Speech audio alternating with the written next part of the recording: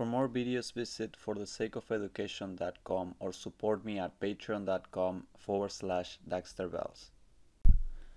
Alright guys, let's do this problem where you want to determine the horizontal and vertical components of reaction at pin A and the reaction on the beam at C. So basically you know that you have this force coming down, therefore you know that this one is going to react up, let's call it F. That's an ugly F. F.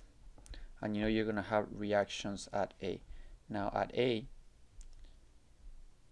let's assume we have a AY going up and let's assume AX is going to the left AY and AX why is AX going to the left because as you can see F is going to the right so AX has to react to the left I don't know if AY will react up or down but let's assume up and see what happens so you want to start by calculating the sum of the moments at A is equal to 0 let's assume clockwise is positive. Now, why A? Because if we start at A, right off the bat we cancel AX and AY and you can find F.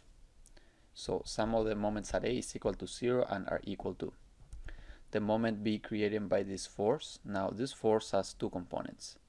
An Fy component going straight up and an Fx component. Let's call this Fy. Let's call this Fx.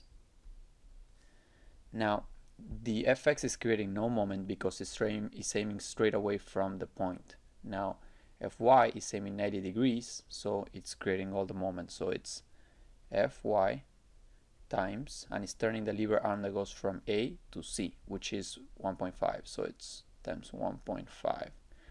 And it's negative because we're saying that clockwise is positive and that's creating a counterclockwise moment. So it's negative plus the moment that the 4k is creating. So the 4 kilonewton force is creating a moment of 4k times the distance from A to B, which is 30 meters.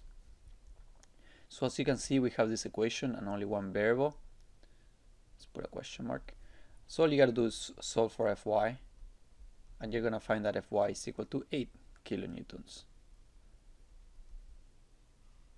And that's the Y component.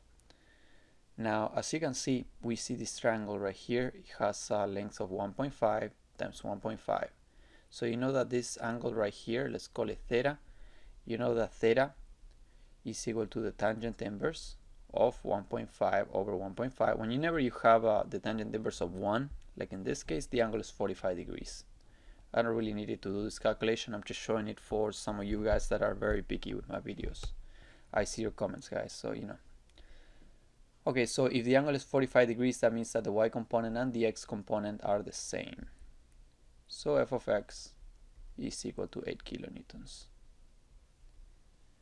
If you want a mathematical explanation of y, that means because f uh, f sine of theta is equal to f of y. We have f of y, you plug it in, and you know that theta is 45. You plug it in, you solve for f, and you will be able to get the force and once you get that force to calculate the x component you you do f of x is equal to f cosine of theta which is the same as f of y if you wanted a mathematical explanation that's how you would do it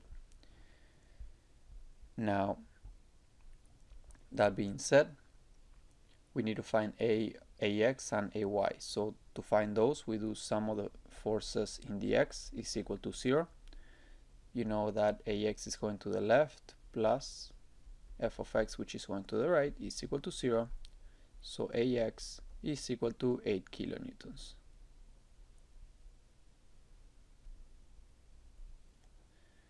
And last but not least sum of the forces in the y is equal to 0 so you got ay going up plus f of y going up minus 4k is equal to 0 we got a f of y we found it so you solve for a y, you plug in f of y right here, and you solve for a y, and you get that a y is equal to negative 4k. So as you can see, our original assumption was wrong, and in reality that means that a y is equal to 4k, but it's going down, not up like we did right here.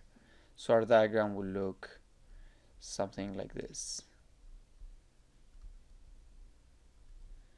We got f right here, and we have the 4k right here. So this would be ax ay f and the 4k newtons. So as our diagram will look in the end we got to correct it. But that will be the final answer for ay final answer for ax f of x and f of y. If you wanted to find f all you have to do is right here plug in f of y plug in 45 for the angle. You're gonna get that f is equal to f of y which is 8k divided by the sine of theta which is 45 you plug that into your calculator because you got f of y and you got the angle. And you're gonna get that the angle is 11 I mean not the angle the force will be 11.3 kilonewtons just in case you wanted to know the exact reaction at f of y so final answer for that and if you wanted in x and y components this is the final answers Please comment below if you want me to do any problems and I'll be happy to help. Thank you.